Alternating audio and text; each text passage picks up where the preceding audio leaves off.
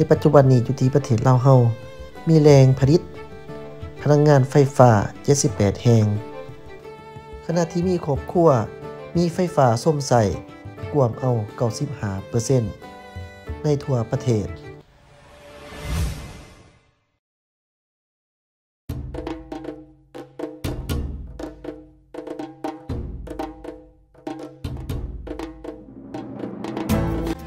เขื่อนไฟฟ้าน้ำเทือนหนึ่ง เปิดการกักเก็บนำเข้าสู่ผลิตกระแสไฟฟ้า สวัสดีท่านผู้ชมตามข่าวสารคอปโลในวันที่ 1 เมษายนปี 2021โครงการไฟฟ้านำเทินหนึ่งได้เปิดการกักเก็บนำเพื่อจะนำใส่เขาในการผลิตกระแสไฟฟ้า ของโครงการในเดือนพฤษภาปี 2022 ที่จะมาถึงนี้ โดยมีทานซอนไซสีพันดอนห้องนายกรัฐมนตรี รัฐมนตรีกระทรวงแผนการในการลงทุนมีบรรดารัฐมนตรี ห้องเจ้าแขวงบริคำไส้พร้อมด้วยคณะบริหารบริษัทไฟฟ้านำเทินหนึ่งจำกัด และแขกถึกเซินเขาหวม ทานปีซากันทมูล ประธานกรรมการบริหารบริษัทไฟฟ้านำเทินหนึ่งจำกัดได้ได้ง่ายในหูว่า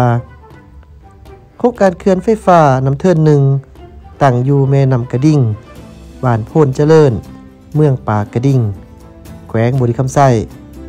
ได้เริ่มลงมือก่อสร้างในเดือนมิถุนาปี 2016 รวมมูลค่าการก่อสร้างทั้งหมดแมน1.335ล้านดอลลาร์สหรัฐ ในนี้ 70%แมนเงินกู้จากกลุ่มธนาคารในประเทศไทย และอีก 30%แมนสมทบทุนจากผู้ร่วมหุ้นมาหอดปัจจุบัน การก่อสร้างนาเวียกโดยร่วมสำเร็จแล้ว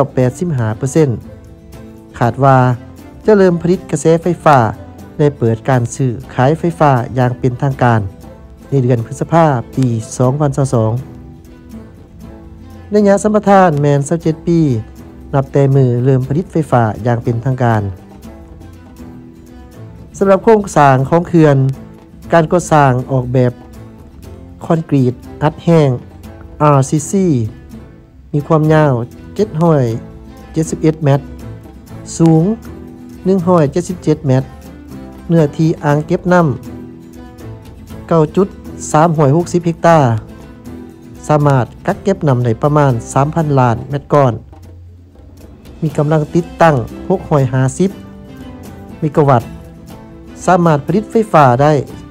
2.562 กิกะวัตต์โมงต่อปี ในนั้นจะแบ่งขายไหไฟฟ้า ฝ่ายผลิตแห่งประเทศไทย หรือ EGAT หาหอยเศร้าเมกะวัตต์และขายไหรัฐวิสาหกิจไฟฟ้าลาว130เมกะวัตต์ ขอขอบใจข่าวขอปลอ เจ้าท่านผู้ชมอันนั้นเป็นข่าวข่าวที่ทางช่องกินหน่อยชาแนลได้มาอัปเดตข้อมูลข่าวสารให้ท่านผู้ชมได้รับรู้ไปพร้อมๆกัน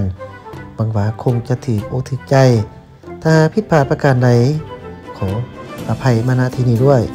ขอบใจสำหรับการให้เกียรติติดตามรับชมของท่านผู้ชมโดยดีตลอดมา